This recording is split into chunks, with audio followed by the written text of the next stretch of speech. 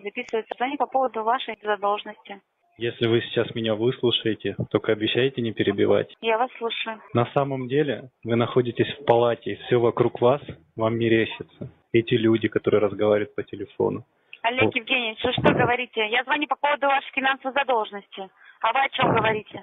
Олег Евгеньевич, я ваш лечащий врач.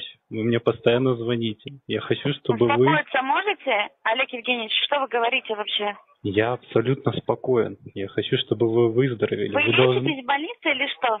вы должны осознать реальность. То, что у вас развитая Вы стадия шизофрении. Послушайте меня, Светлана. Мы сделали все для того, чтобы вы вы почувствовали себя коллектором. Просто вы всю жизнь хотели стать коллектором, но Что этого... вы говорите, Олег, Олег Евгеньевич, вы успокоиться можете? Послушайте меня в данный момент. Меня зовут Станислава Викторовна, первое коллекторское бюро, разговор записывается звонок по поводу вашей задолженности. Если вы